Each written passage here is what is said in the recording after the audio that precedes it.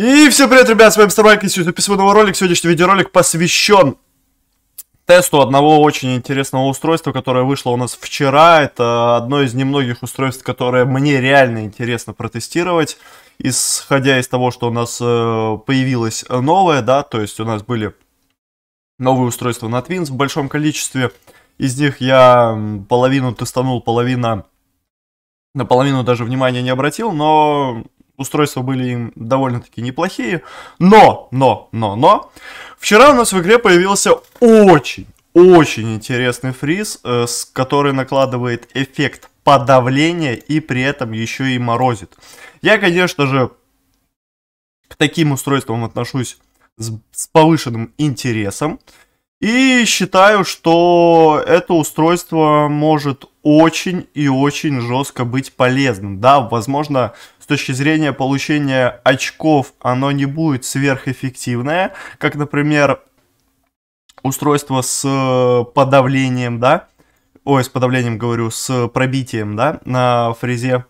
Но здесь получается два очень интересных эффекта. То есть вы помимо того, что замораживаете оппонента, еще вопрос, насколько сильно вы замораживаете оппонента, накладываете эффект подавления. То есть вы отключаете дроны у противника, который не имеет иммунитета от подавления. Плюс ко всему прочему, за счет заморозки противника вы убираете у него ДДшку. То есть очень крутых два эффекта, которые безумно полезны в матчмейкинге, если вы играете в нем не соло, а в командах. Да? То есть соло может быть не так жестко это будет эффективно, не так много пользы вы сможете приносить.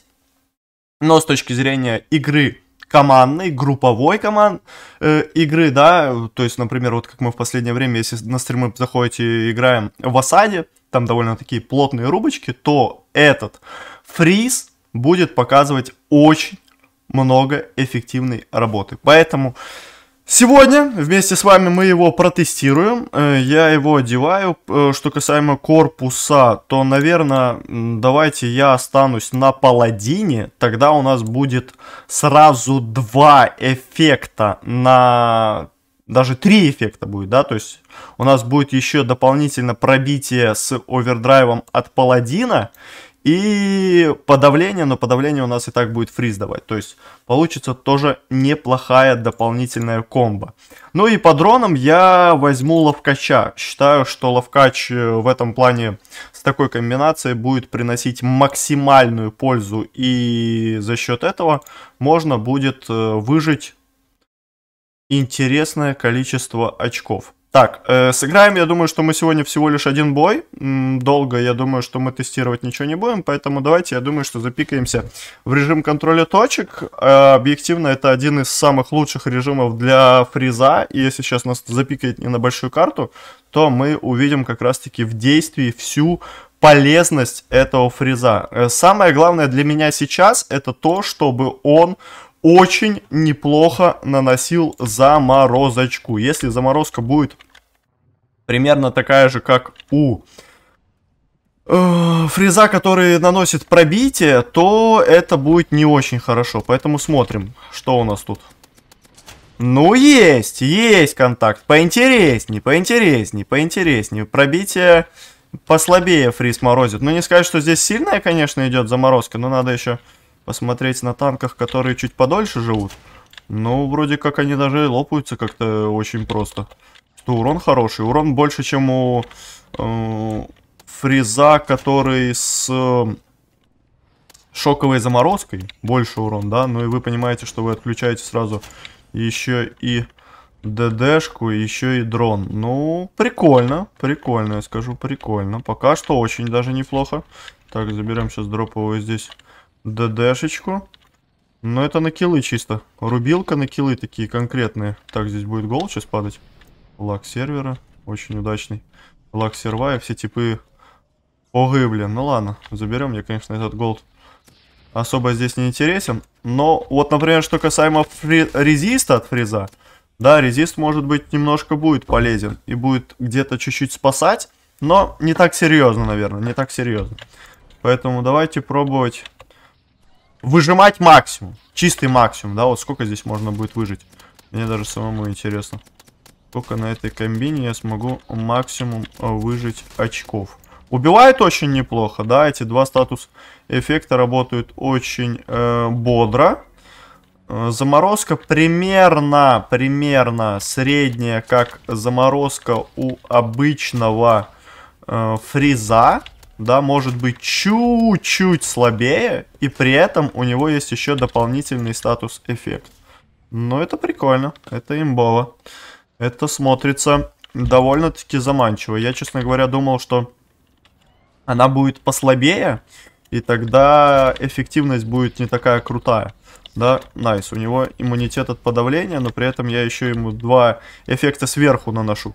То есть, ну, получается вообще бомбическая комбинация. Так, сюда, сюда, сюда, сюда, оп. И еще добавочки. Разворотику, добавочки, добавочки, добавочки. Хорошо. Криты очень частые, по 1800 э, с шоком. Мне кажется, что тоже 1800 были криты. То есть с критами здесь все в полном порядке.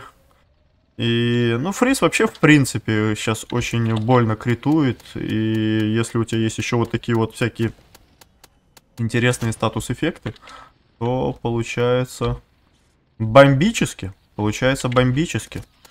Мне нравится пока что, что получается. Хотелось бы дать, ну, наверное, каких 40-50 килов за такую катку, если это реально, то было бы очень неплохо. Нужно просто понимать, что в тех боях, в которых нужно чуть больше напрягаться, и в тех боях, где решают разные устройства, да, я все возвращаюсь к той же осаде, да, которую мы играем в последнее время, где у нас там происходят очень интересные рубочки. Э, там э, решает большее количество разных устройств, да, разных пушек.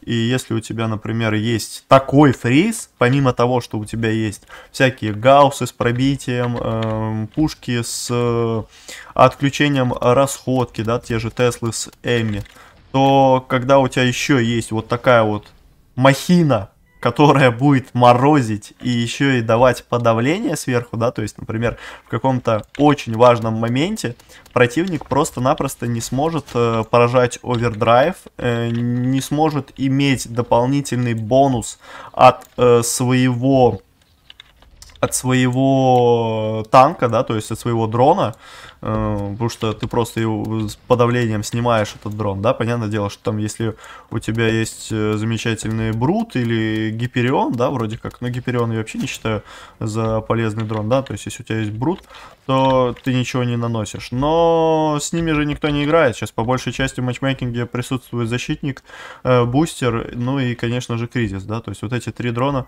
в большом количестве, поэтому я вам скажу, что вообще нет никаких проблем с тем, что ты заезжаешь к противнику и уносишь его расходку. Просто до свидания сразу говоришь его расходки и начинаешь разваливать. Ну и э, нужно тоже понимать, что если ты еще сверху паладина овердрайв юзаешь, да, ты даешь хил на всю тиму, ты даешь э, защиту от всех статус-эффектов, и при этом еще у тебя э, на корпусе и пушке сразу три эффекта есть, да.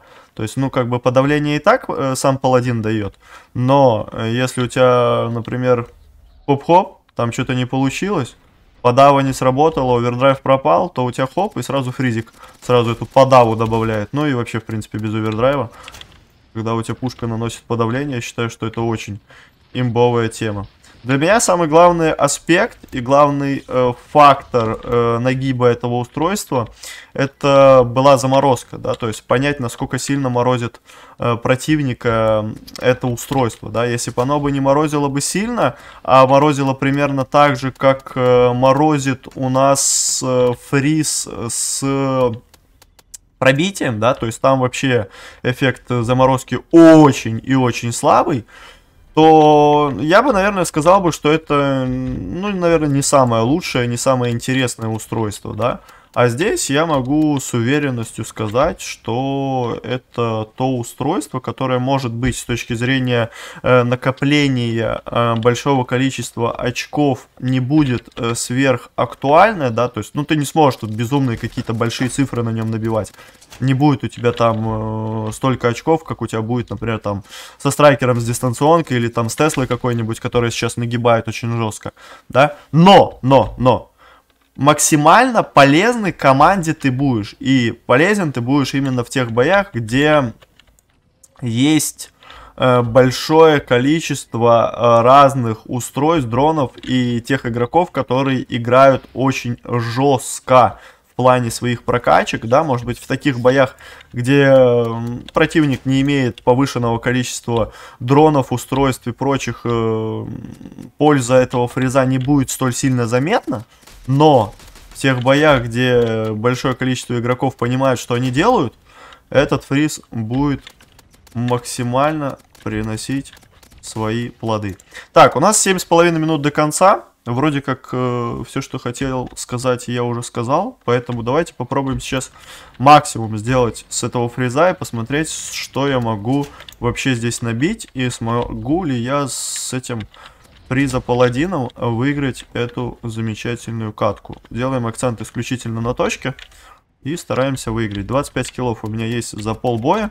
В принципе, наверное, примерно стандартно дефолтное количество киллов э, за такой период времени на ближнебойной пушке. Понятное дело, что на каком-нибудь э, там, ну, как я уже говорю, там Тесли, Гауссе, Страйкере можно было бы набить здесь намного больше, но для продува это вполне себе хорошее количество киллов. Поэтому пробуем сейчас э, выигрывать эту каточку. У нас все точки, к сожалению, противник отбирает. Но мне было бы неплохо, наверное, контролировать низ и, если что, периодически ехать влево. Да, то есть вот эти две точки на контроль делать. И самое главное здесь оставить овердрайв под конец боя. Если у меня под конец боя здесь будет овер, то будет очень и очень хорошечно. Тогда мы сможем, в принципе, э, поражать его на удержание какой-нибудь важной точки и, соответственно, выиграть замечательную каточку. Так что давайте. Работаем, ребяточки, работаем. 6 минут до конца. Вроде как мы уже выигрываем. Но пока что это не столь сильно уверенно. Ладно, прожму здесь овердрайв. Дабы уверенно хоризитку слить. И здесь мы можем сразу проконтролировать еще одну точку. Главное, чтобы на меня тоже кто-то ехал. О, я, кстати, сейчас двум типам сверху даю статус дополнительный и хпшку. Это, конечно, хорошая польза. Так, этот хитрый молодой человек думает, что я от него уеду, и он здесь будет наваливать. И вот, видите, еще один плюс. Например, Титан видел, видели, подъезжал с овердрайвом, да. Я сразу ему хоп, по сверху накидываю, и все, и он не может прожать свой овердрайв, пока я жив. Можно, конечно, там на откате назад сделать так, чтобы я не смог э, дотянуться до него и там прожать, но ты уже выиграешь дополнительное время, у тебя будет уже выигрышная более позиция, и за счет всего этого ты будешь уже иметь некое преимущество, да, даже если противник прожмет овердрайв. Он уже будет не в самом лучшем позиции. Но если, конечно, не обращать внимания на овердрайв мамонта, да, там, например, на том же мамонте можно просто назад откатку дать, э, где нету статуса подавления, и просто влететь в кучу, да, если у тебя там ловкач какой-нибудь или кризис, с нитры можно очень-очень быстро, жестко, плотно залететь. Так что как-то так. Но у нас 4 минуты до конца с небольшим. Падают елки тут периодически на карте. Но мы проигрываем бой. И это не есть хорошо. Я делаю акцент все так же на эту самую замечательную точку, потому что понимаю, что сейчас противник потихо будет на нее пушить. Целых три даже противника пушить на нее. Ну, а мы будем просто... Просто будем контролировать эту точку. Пусть едет чем больше, тем лучше. Офигеть. Три! Три крита вылетело у меня с фреза. Это очень не кисло. Так, и у нас три точки под контролем за 4 минуты до конца. Очень неплохо. Давайте еще добавочку. Давайте еще добавочку. И сейчас где-нибудь что-то, что-то так. Хоп-хоп. Спрятался. Хоп, пикнул. Хоп, сюда добавку. Оп, оп, оп, оп. Уехал. У меня даже расходки нету. Ну и одна точка под контролем, к сожалению. К сожалению, одна точка под контролем. Под контролем одна точка. Все точки у нас потихой скручивают. Так, ДДшку я, конечно, с респа, наверное, зря прожал. Но, ладно, сейчас на ДДшечку переключимся. Здесь попробуем уже уничтожить. Вот, я сейчас, получается, по типу. У него был на хоре Жиги была ДДшка и был кри крит урон дополнительный. Но при том, что я играю на фрезе, я сразу ему сбил эту ДДшку. И плюс еще дополнительно отключил его дрон. Я, правда, не заметил, какой у него там дрон был. Но факт того, что я его отключил, это очень жестко. Так, но я продолжаю контролировать на эту, эту точку. Овердрайв уже прожимать не буду. Да, ставлю овер под конец боя. Не вижу особо смысла здесь сейчас поражать и своего овердрайва. Просто закрываем зону. Стараемся нанести как можно больше урона. И надеемся на то, что хоть еще одну точку какую-то наши союзники будут контролировать. Если я буду держать вот эту замечательную, то, ну вот, по итогу, может быть, у нас все вместе с вами то и получится. Так, купол прожимает Титан. Это его последний купол. Больше у него куполов не будет. И э, нужно просто сейчас э, врываться в эту замечательную точечку. Так, сейчас у него купол должен скоро пропасть. Я как раз прожму всю расходочку. Оп, купол спал. Ну, теперь уже можно и влетать. Забираем точку. И главное, чтобы наши тиммейты просто какую-то еще контролировали. Если они законтролят какую-то еще, и я просто до конца продержу эту, то это будет очень хорошо. То есть на двух точках мы 100% выигрываем катку. Противник, если даже упарывается, старается забрать, что-то выиграть у него вряд ли что-то получится, если я просто буду жить на этой замечательной точке. Но тиммейты приезжают все сюда. Зачем вы едете сюда? Молодые люди, идите другую точку захватите. Я не хочу просто ехать, но я понимаю, что на этой карте эта точка является самой такой трудно захватываемой. Та верхняя даже намного проще захватывается, чем эта. То есть за эту сторону довольно тяжело контролировать ту точку. Так, мне надо Аптечка, хорошо. Надеюсь, этих двух я точно придержу. Мы вернем сейчас точку. Но вот и сейчас мне надо уже с респа овердрайв, по идее, прожимать.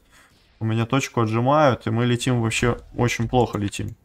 Очень плохо мы летим, если честно. Очень-очень плохо мы летим.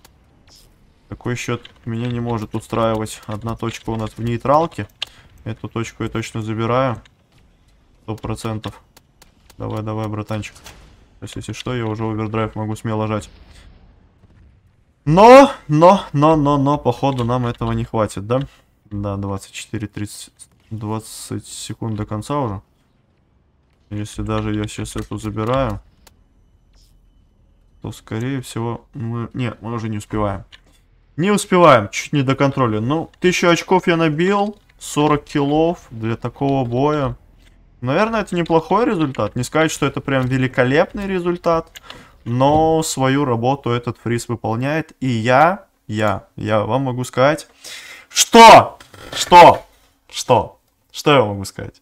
Что я рад, рад тому, что появляются такие устройства, да, кто-то, может быть, скажет, что оно чересчур жесткое, чересчур сильно нагибает, и оно, ну, такое неприятное, да, неприятное, против него типа тяжело играть, но я бы сказал вам так. Э, есть устройства, да, которые хоть и выпадают с ультраконтейнеров, но от них пользы мало, да. Они, ну вот что есть, что их нету. Есть устройства, которые э, на, наоборот очень имбовые, и многие на них горят, то, что типа оно сверх имба, и оно доступно только с ультраконтов. А это устройство, оно не будет набирать сверх большого количества очков, но с точки зрения командного боя, командного взаимодействия в матчмейкинге, если вы будете играть в группе, оно будет очень и очень полезное. Поэтому как таковой проблемы, наверное, она большому количеству игроков не принесет, но польза, польза, то самое, что, что нужно нормальным устройством, оно будет давать. Поэтому как-то так. Поддерживайте, друзья, видос лайком. Подписывайтесь на канал, если вы ждете новые, замечательные обзоры с игровой тематикой. Также не забывайте, друзья, конечно же, подписываться на канал, нажимать на колокольчик, дабы не пропускать новые видеоролики. Ну а с вами был Мистер Ванька. Всем, друзья, спасибо за просмотр. Всем удачи и всем пока.